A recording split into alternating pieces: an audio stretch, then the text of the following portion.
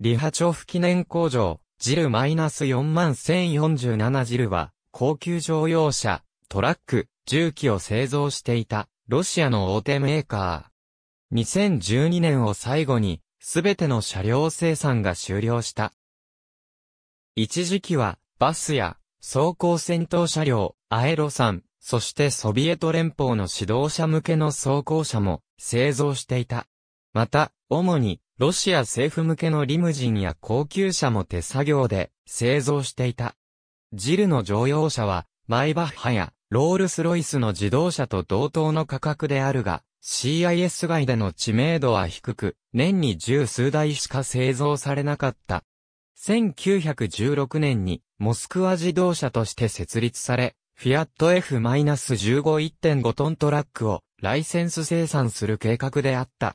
しかし、10月革命やロシア内戦のため、1号車である、アモ F-15 は1924年11月になって生産された。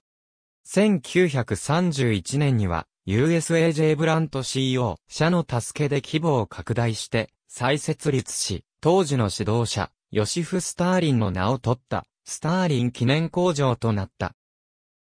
第二次世界大戦中の1940年代には、アメリカの高級車で、スターリンも好んでいた、パッカードの旧型ボディプレスが、スターリンへの怪獣作として、アメリカ大統領フランクリン・ルーズベルトの仲介で、譲渡され、しばらく旧型パッカード同型ボディを持つ高級車を生産した。以後も1960年代まで、乗用車デザイン、設計についてはパッカードをはじめとする、アメリカ製大型車を、多くの面で、模倣、1960年代後期以降はやはり、同時期のアメリカ製高級車に類似した巨大な直線基調デザインのリムジンを生産してきた。このスターリン記念工場は1956年のニキータ・フルシチョフによるスターリン批判の後、先代の工場長イワン・リハチョフにちなんでリハチョフ記念工場となり、略称もジルとなった。